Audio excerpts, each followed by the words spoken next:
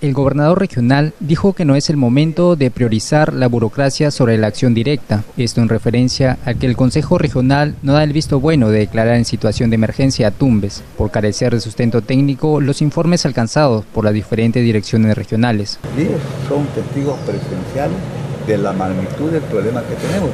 ¿Quién no sabe que la emergencia, por ejemplo, no se ha hecho, por ejemplo, en el tema de la de, la, de salud, de lo que es el Nadie puede decir que no estamos en emergencia. Pero presidente, ir contra las normas no es este, atentar contra la ley, este, es un delito. ¿De qué norma? De no este, seguir las normas no, yo lo que paso me, a paso. No, yo lo que me refiero es de que ellos estén en sus manos de que le declaren en emergencia.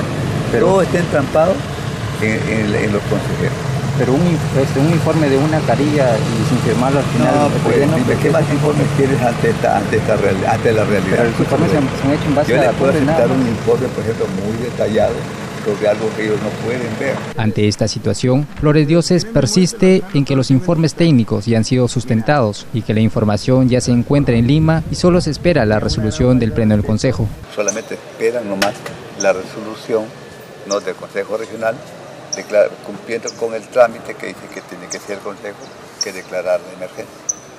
Pero ya la emergencia está, está sustentada en Lima, solamente falta un documento que es una hoja en la que toman el acuerdo de declarar la emergencia solamente para cumplir con la normatividad. Por otro lado, la máxima autoridad regional dijo que el Ministerio de Vivienda, Construcción y Saneamiento lo ha castigado al no transferirle la maquinaria al gobierno regional y que esta negativa se debe a los reclamos que hizo. Por ejemplo, de San José. ¿Por qué fue el castigo? ¿Alguna Porque dije, pues no, de que estaba metido en un cuartel, dice que he hecho mucha bulla, digo, pero si es la única forma de que el ministro haya hecho que entre los, los vehículos, este, las máquinas a la zona urbana, pero me las quitó a mí.